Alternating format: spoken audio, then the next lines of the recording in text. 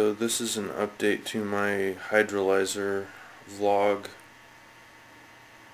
I'm basically planning on discontinuing my research in this area. It's, uh,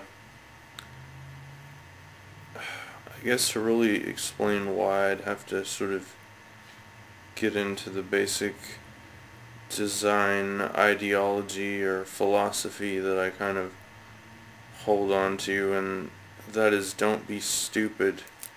And uh, from my point of view, like the whole process of electrolysis, or at least um, splitting water molecules into hydrogen and oxygen, um, you know, I've heard the term free energy, and I think that's ridiculous. Um, this is not free energy, and furthermore, it's really dangerous the combination of hydrogen and oxygen gas is basically nothing less than a high explosive and I think the idea of wanting to apply this to something that would be mass produced is both unethical and kind of insane.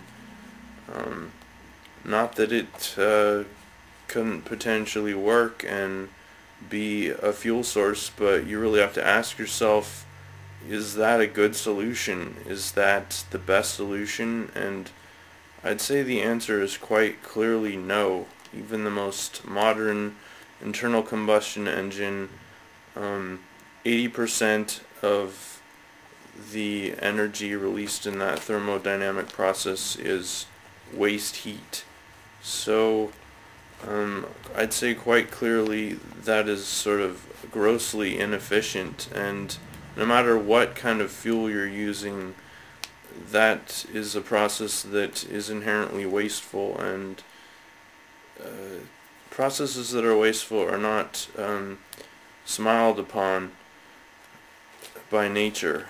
Um, personally, I view them as uh, dead ends, vestigial, um, and adding the sort of the dangerous element of even a hydrogen on demand system it just it doesn't make sense to me. So even though I've created the design for what may be the most efficient um, hydrolyzer ever designed I still think that it's a really stupid idea to want to use these gases for fuel.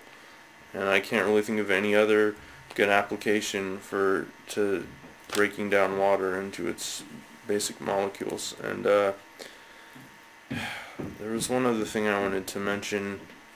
Uh, also, there's the fact of the matter is that even though on on the this planet there's an abundance of water, um, I think it's a very precious resource, and to decide to use water as fuel, especially the kind of water that you know people are going to want to be using as a fuel, even though it's a pretty efficient um, process as far as the amount of gas that you get for the volume of water that is, you know, um, broken down.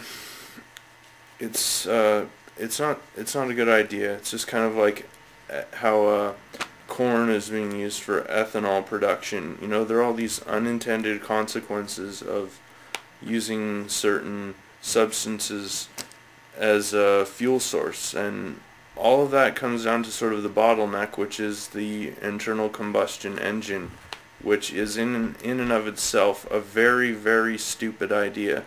And it really it's like the incandescent light bulb. It should be banned. Um, there are better solutions like electromagnetic motors. And really why are we still using this um, technology which you know, should be in a museum. I really don't know.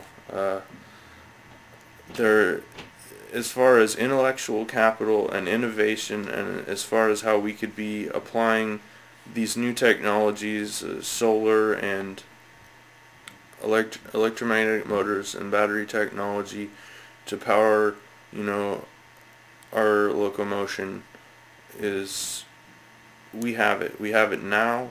We could we could be doing this anytime. It's just the greed and stupidity of corporations that is preventing you know, these new technologies from supplanting the old and busted models. So, you know, that's my way too long explanation for why I'm discontinuing this uh, vlog, but basically it all comes down to uh, philo- design philosophy, which is, you know, simple and elegant is superior to complex and stupid and uh, dangerous. So, that's it.